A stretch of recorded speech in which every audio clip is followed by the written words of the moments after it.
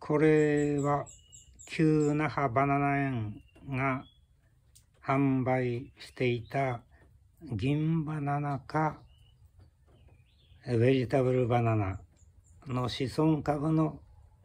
母株ですね。親株は完全に終了しています。それでこれが地上小株でこれとそれからこれえっ、ー、とこれですが地中水目で他の母株と同様地上5株1本地中水面2個は確実です。あとまあ他に地中水面があるのかもしれませんがそれは土全部のけないとわからないので確認していません。一応保証できるのは地上小株1本と地中水面2個ということですね。それでうまく育って結実すればですね、可否の色でベジタブルなのか、まあ、トーナンはなのか、銀バナナ、あるいはアイスクリームバナナという人もいます。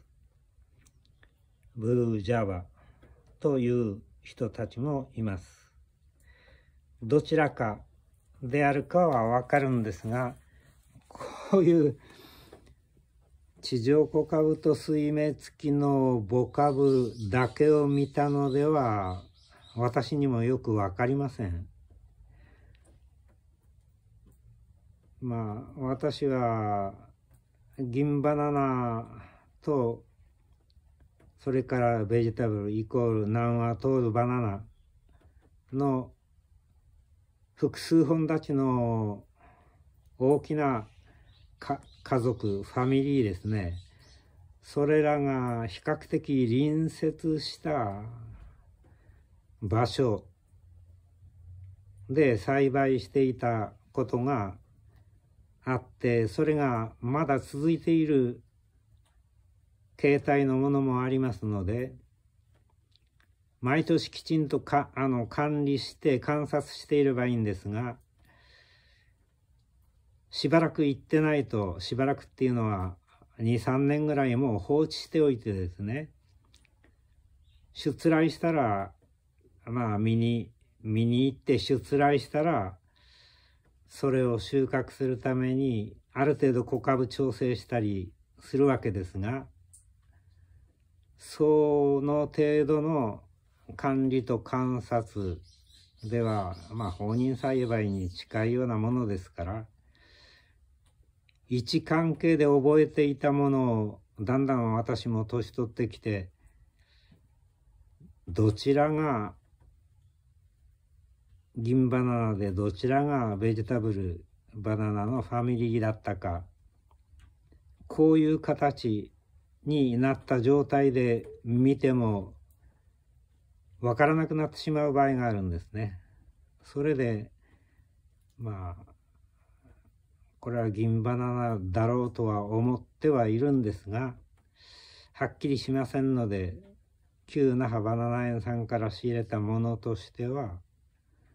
ベジタブルバナナ、それから銀バナナ、どちらかですと言っておく方が無難なんですね。まあ、うまいこと栽培して、開花結実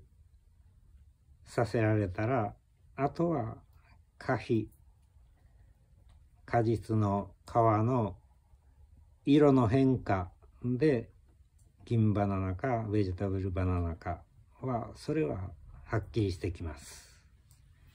まあ、とりあえずは何分けの母株を入手して、そうしていずれ複数本立ちを形成したいという方のための出品ですので、あの、品種を増やすためとか、そういうことではありません。複数本立ちを成立させて、いずれご自分で収穫できるようにしたいという方のための出品であることをご了解いただければ幸いですね。